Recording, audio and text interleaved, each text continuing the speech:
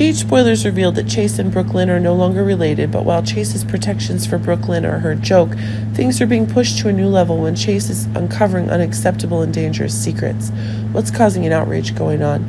Chase has decided that he will forego the exact conditions Brooklyn's love is offering him in order to ensure that there's a new surprise in his return as an investigative detective.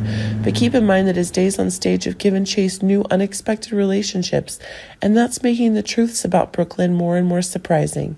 Things seem to be heating up even more now, as it can be seen that Chase is still trying to protect Brooklyn from the stressful conditions of those who hate her. Remember that even though Chase has decided that he is no longer with Brooklyn, the truth is that the feelings they both have for each other are still a certainty.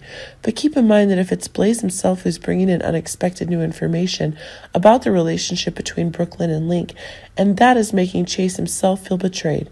Honestly, the exact conditions Blaze is reporting on Brooklyn and Linc's close acts during the time Chase is on tour is really making for new crazy things to unfold, stronger than ever.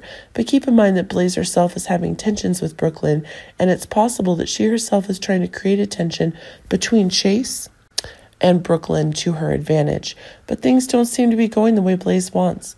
It seems that when Chase himself has decided that he will take action to break up with Brooklyn, when the actions that Brooklyn is imposing on Chase are stronger than ever.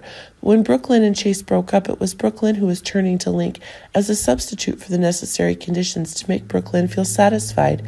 But it seems to be an unacceptable betrayal of the conditions Chase is trying to have been so strongly created by Brooklyn herself. But it seems that things are taking one of the crazier things if it is Blaze who is making sure that Brooklyn and Linc are now reclaiming the rights that Brooklyn gave Chase in the past. And that's what's making this once hot couple more explosive than ever.